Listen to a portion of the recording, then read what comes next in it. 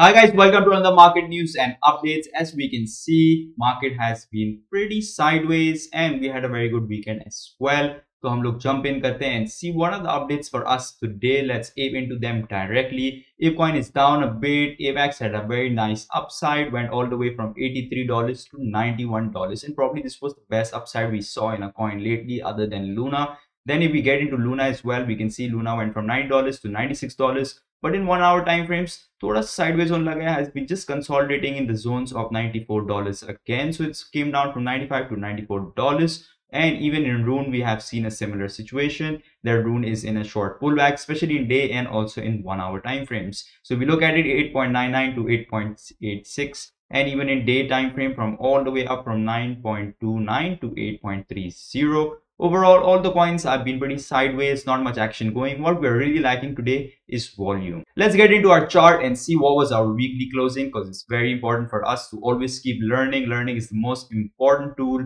in these markets. So if we look at it, it was a clear bullish engulfing candle. So what a bullish engulfing candle looks like, exactly like this. And even if we try to compare, looks very, very similar after we had two hammers in a row we had a massive bullish engulfing candle which was a very very good sign. So iske technicals we dekh lete what it exactly means criteria body we says white but we can make it green. Green real body wraps around preceding red real body. Market in downtrend. Implication market is bottoming out. So we have been pretty sideways. We haven't had much action. We've been just trading in this for one, two, three, four, five, six, about for six weeks now. And now we're beginning to see some kind of pump or upside should come from this candle. But since we started today, we are seeing some pullbacks. Obviously, market के अंदर has to have some sort of pullback before we have any kind of an upside. So that was a very, very important sign for us today as well. Now we jump into news, which is going to be very, very critical. This week is going to be European Union to move Russia's oil embargo with Biden set to join talks.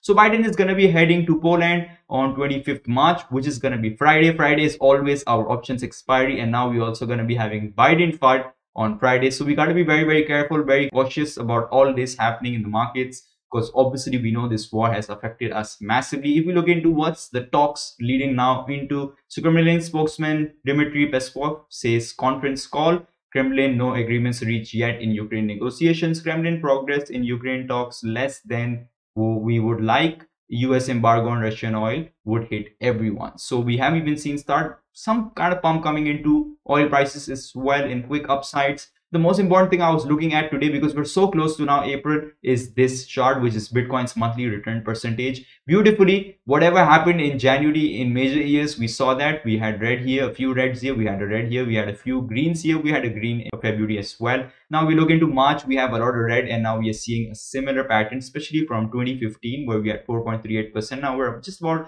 4.45%, so looks pretty good as well. April, May, June, July looks very, very green. So are we gonna carry on forwarding this pattern or not? We have to watch out for that pattern very closely this week. So now if we jump into gate.io, we have MetaVask starting just in 23 hours. So we have to ape into this coin. We know this coin is going to be something amazing. And above all that, we also have Manchester City fan token coming, which is going to be in 23 hours. If you are part of the startup, this is your chance to get in because startup for MetaVask has also started and for Manchester City fan token. So if you want to get into Manchester City fan token and if you're Manchester City's fan, you must get into this. Obviously, this is going to help you support your club better and give you more opportunities to get closer to your club as well.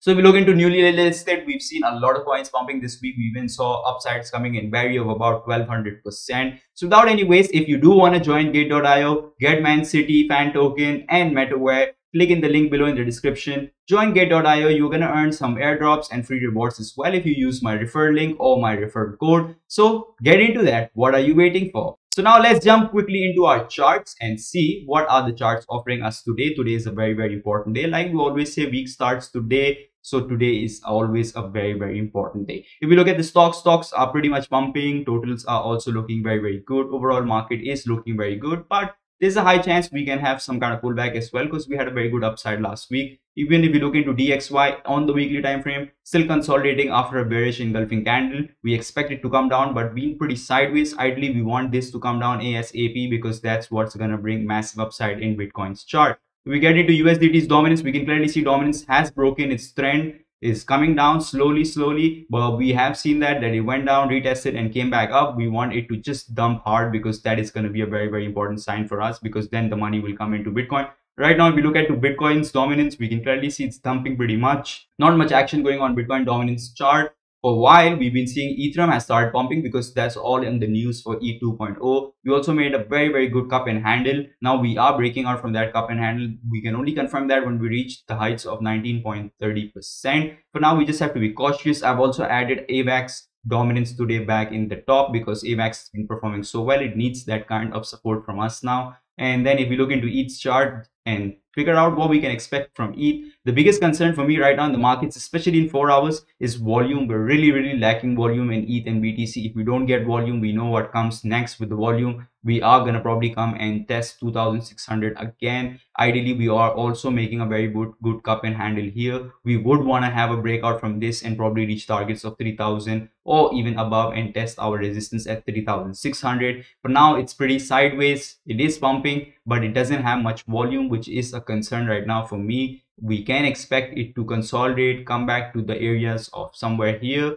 or we can also expect something a massive volume coming in and taking us above this zone so we have to be very very cautious when we come to in these zones. Like i always say play to level to level market. We don't want to predict that it's going to be four thousand dollars tomorrow or forty thousand dollars in the next three months. We don't work like this on this channel. We like to trade level to level because that is the safest way to go about in the markets. Like we were here we decided we're going to get into this range and we did we got very very close to it got resistance and then got rejected from there. Now we are building support and heading towards another retest of three thousand dollars which is going to be an interesting sign. But we need a huge tower like that in the volume for us to ideally break into big big higher time frames. Even if we get into btc similar situation right now. We don't have volume. If you saw the each chart there was still a lot more volume in each chart more green bars than we have here. There's more red bars here which is a massive concern for me right now at least and overall the shape everything looks okay. We are in a good price structure. We do know every time we touch our danger zone we do dump hard and we don't want to see that coming anytime soon. So we would ideally want to build some kind of support bringing some nice volume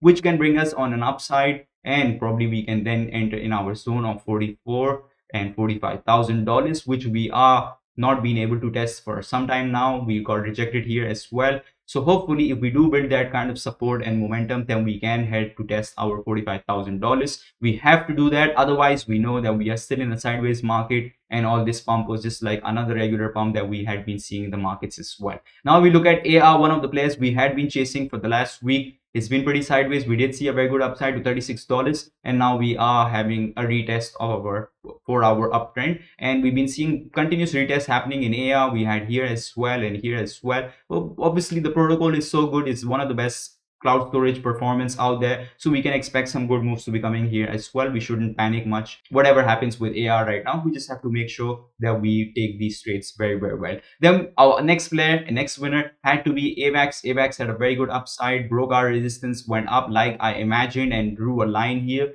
and we are now facing some kind of resistance coming at 92.50 we can expect that to be broken. Right now we're in golden pocket 0.5 regions in fib channel. So we can expect if we do have a breakout to easily get into 100 dollars range and even 113 dollars. That would be an ideal place for us to have. So if you do want to take this trade, you have to be very cautious. Wait for this to have a breakout and watch the MACD as well. Once we see a convergence in MACD and breakout from this 92 resistance, then we can expect some kind of big move to be coming. Right now, we know there's not much volume, though this is looking a lot better than what we saw in ETH and BTC. So that is some kind of a, a relaxing sign for us and you can feel a bit better that at least there's some volume in AVAX. Now, if you look at Luna, Luna also looks very, very similar. No volume, massive volume lag going on right now in Luna, but it's good to see that it's pretty sideways. It did test its resistance at $95 and then it faced rejection and now it's just been consolidating in the zone. My concern right now on 4 hours is making an inverse hammer. Usually they are very very bearish signs so I just hope we don't come back down into the ranges of $89. If we do then this will be another very good area for us